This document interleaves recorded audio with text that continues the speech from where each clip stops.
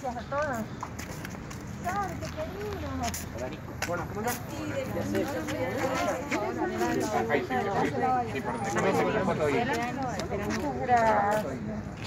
Algunas mirando las.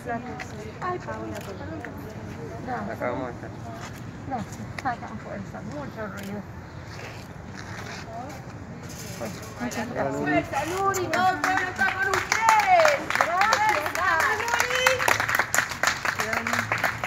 Nuri, su sensación ante este recibimiento para este momento tan especial.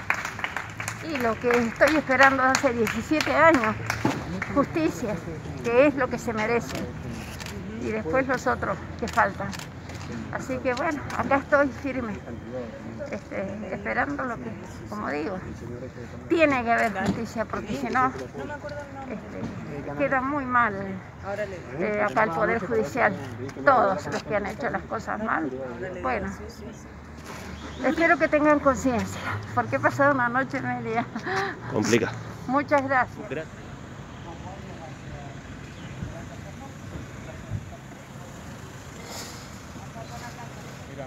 Hoy, Guillermo. Buen día. Buen día. Eh, ante todo, lo, bueno, lo que esperamos es lo que hemos pedido nosotros en, en la querella. Esperamos que sea justicia para Paula por fin, de una vez por todas, que termine toda esta espera, el- esta larga espera, este, este largo penar por justicia, que Nuri encuentre también su tranquilidad. Eh, y esperamos para Graín no una, una condena ejemplar, no, no somos partidarios de condenas ejemplares, pero sí entendemos que la justa condena en esta causa es la que hemos pedido, la de prisión perpetua. ¿Qué sería una Eso, condena, perdóname, una condena ejemplar? ¿Qué sería? Las condenas ejempl- ejemplificadoras este, tienden siempre a los máximos de pena. Nosotros ya hemos dicho que no somos partidarios de la pena de prisión perpetua. En este caso la pedimos por la falta de información durante tanto tiempo. Pero eh, no hacen falta, no necesitamos condenas ejempla- ejemplares en la justicia nunca. Técnicamente puede llegar libre y se puede ir libre hoy el acusado.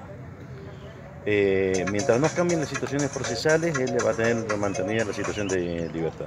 Eso va a ser la, la situación. Nosotros vamos a esperar ahora que se dicte la sentencia.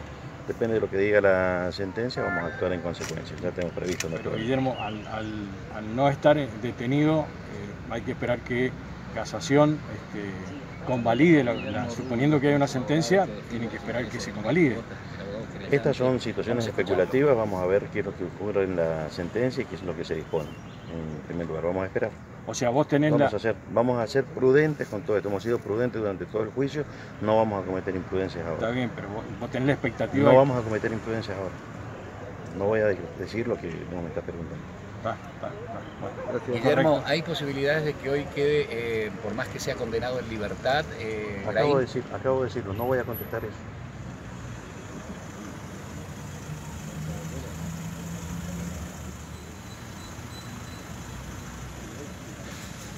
Híjole, ahí.